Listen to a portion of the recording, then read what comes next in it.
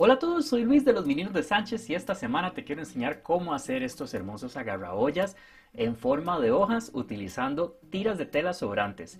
Así que es ideal para todos estos retazos teniendo una pieza funcional y decorativa para tu cocina, ya sea también para un regalo o para algún tipo de emprendimiento que tengas. Así que aprende con este tutorial cómo hacer estas hojas, ya sea rectas o onduladas como las dos que tengo acá de ejemplo y recuerda eso sí, suscribirte al canal, tocar la campanita seleccionando todas las notificaciones para que no te pierdas ninguno de nuestros videos. Así que ahora sí, vamos al tutorial.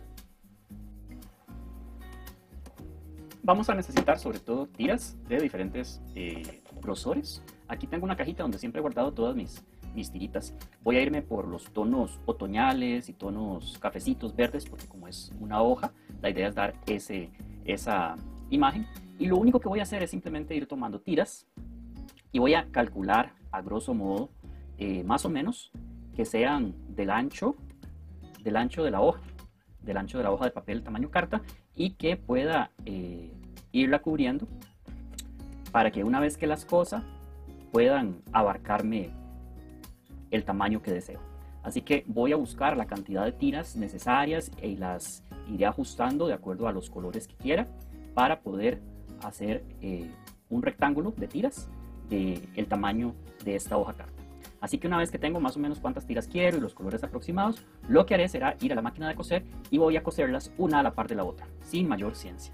Y voy a hacer dos juegos o dos sets de este tipo de, eh, de panel hecho de tiritas. Todos estos son retazos que hemos eh, utilizado en otros proyectos y han ido quedando yo los voy guardando en una de estas. Así que vamos a aprovecharlos todos haciendo estos agarraollas. Usando un cuarto de pulgada vamos a coser cara contra cara cada una de las tiras de nuestro proyecto hasta tener la pieza grande del tamaño de una hoja carta.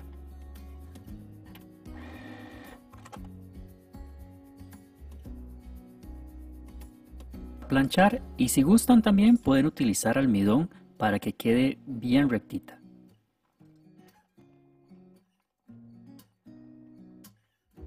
Final queda del tamaño de una hoja carta más o menos.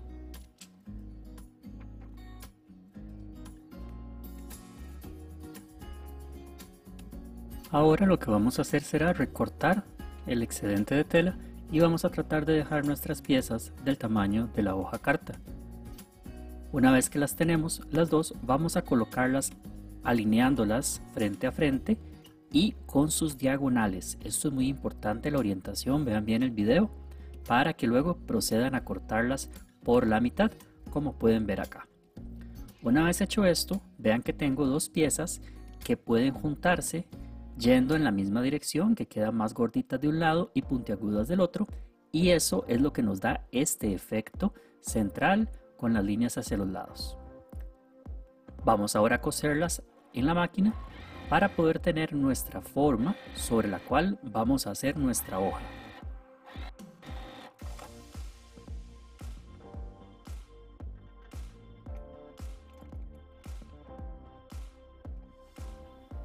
Aquí también podemos planchar y almidonar para que nos quede bastante manejable esta pieza.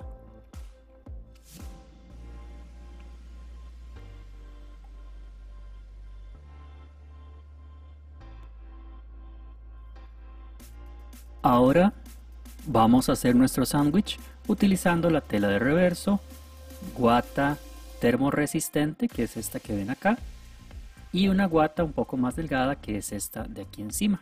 También pueden usar una franela.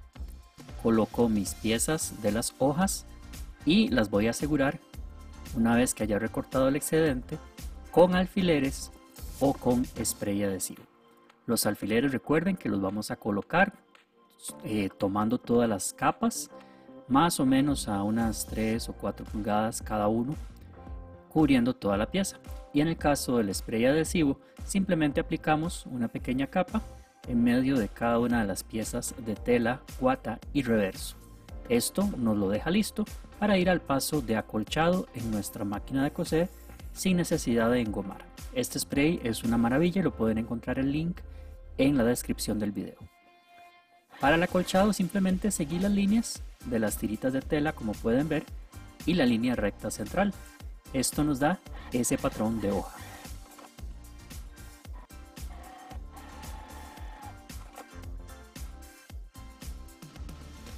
Ahora solamente vamos a recortar la pieza una vez que eh, la peguemos con alfileres. Vamos a cortarla en todo su alrededor, puede ser aproximado, para que el individual nos quede con esta linda forma, que es la de la hojita. Recuerden que el patrón lo pueden descargar si son suscriptores del canal desde la pestaña comunidad. Aquí tengo las dos piezas listas y ahora simplemente vamos a colocar el bies a todo alrededor, para lo cual tengo otros videos y acá simplemente lo estoy cortando de la misma tela del reverso.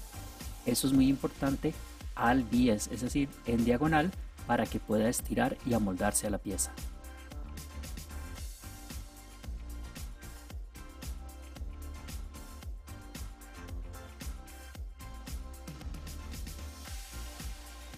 Una vez que lo tenemos listo vamos a pegarlo a todo alrededor de nuestra pieza respetando las puntas y para eso tengo otros tutoriales donde pueden ver cómo pegar el 10 detalladamente. Aquí simplemente lo muestro a manera de ilustración para que ustedes se den una idea de lo que estamos haciendo. Ahora simplemente lo volteamos hacia atrás. Aquí hay varios trucos también que tengo en mi canal que pueden ver y lo vamos a coser por el frente una vez que lo tenemos listo y así es como poco a poco hemos terminado esta hoja.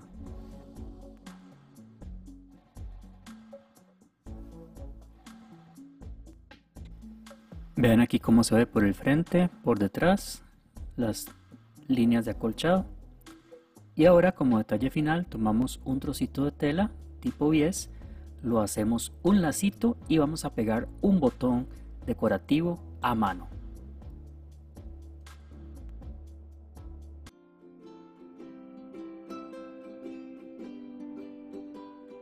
Bueno, espero te haya gustado este video, así que recuerda suscríbete al canal, comparte en tus redes sociales y sigue viendo más videos en nuestro canal de YouTube. Hasta la próxima.